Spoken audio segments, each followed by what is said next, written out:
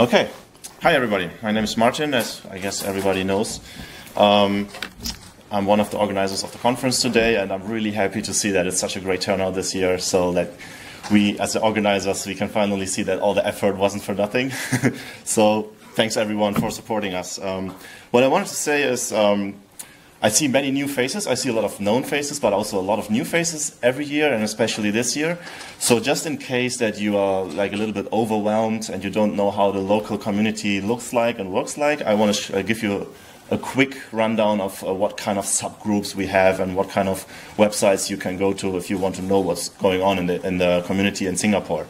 Um, when you are feeling lost and you forgot all the other links, you can just remember Python User Group Singapore. So the abbreviation is like PUGS, PUGS, right? So you can go to pugs.org.sg, and that's kind of our uh, official uh, website for the society. And we kind of try to post news every month and uh, let everybody know what kind of meetups were going on. Like this is like the TLDR of for every month what has happened.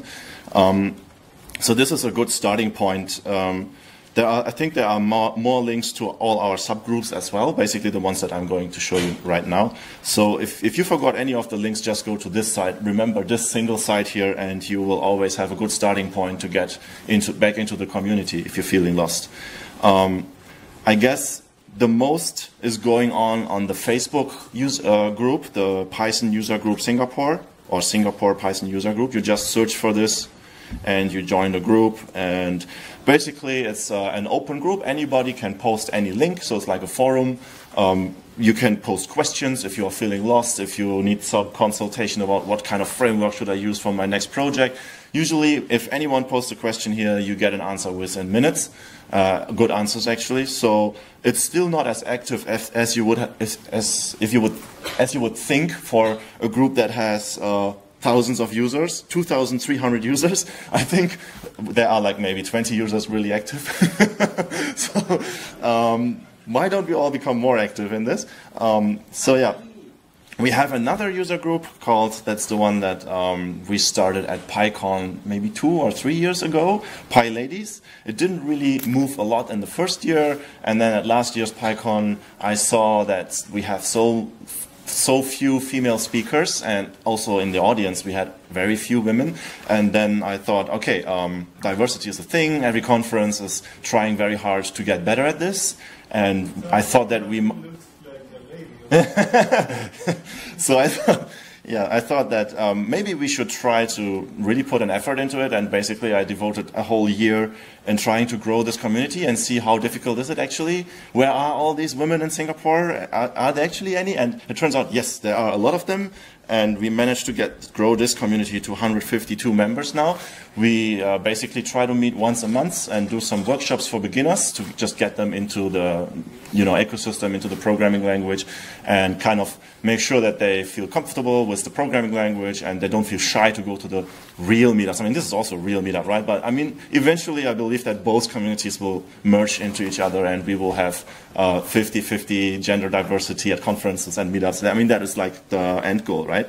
So just join this community. Um, whenever there's an event, I'll post a Facebook event. People just sign up, and we meet at PayPal and have some pizza and, and learn something. And especially if you want to present something, reach out to me um, because we always need speakers. Because right now I'm doing all the workshops and it's uh, taking a lot of my time. Um, so the Facebook group is great for communication, like chatting and, and, and asking questions and, and you know discussing things.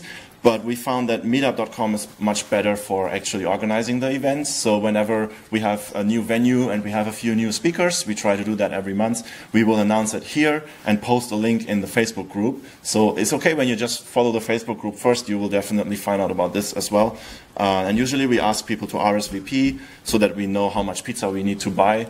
Um, and please, if you RSVP, you should show up. If you if you like have a stressful day at work and you, you know that you can't make it at night, uh, then you should un-RSVP because we always have like 100 people RSVP, 150 people are on the waiting list, and then only 60 people show up. So 40 people from the waiting list could have had a chance if the, the other people would have un-RSVP'd. I find this always very weird that somebody blocks a slot in the RSVP list and then doesn't unblock the slot if they know they cannot come, right? So even if you, if it's just three hours before the event, it's still helpful if you make room in the list. So I just want to get the word out because somehow, I don't know, um, not everybody is realizing that this puts the organizers under a lot of pressure.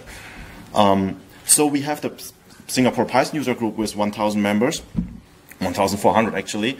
We also have PyData. So um, it's, I think, almost everyone in the PyData group is also in the, uh, in the Python Singapore user group, but as the name says, the PyData group is especially um, uh, specialized on data analytics and machine learning and these kind of things. These things are really big right now in Singapore, and um, I guess the data community feels like they have so much more to show and so much more to learn so that they spin off their own user group. It's also quite nice um, because if, if you have a meetup where one talk is about web and one talk is about data, um, it's often that the crowd is smaller because some people will think, oh, it's not worth my time just to go there at 7 p.m. and there's just one talk that I'm interested in. So we feel that it's kind of better to have one meetup that's like two or three talks all about data, two or three talks all about web, and we feel that uh, for each meetup we get a bigger crowd because of this. So uh, similarly to PyData, we also have Singapore Djangonauts, which is super new. I started that two months ago, and we only already have 157 members as well. So right now it's again just me giving talks. So if anybody knows a little bit of Django and wants to share their knowledge, please reach out to me. Um, we actually are searching for a speaker for the next month's meetup, for the July meetup, for Singapore Djangonauts. Did I forget anything? I guess PyData, PyLadies, the Facebook user group, and the original official website. That's, that's all you need to know about the Singapore community ecosystem. Thanks.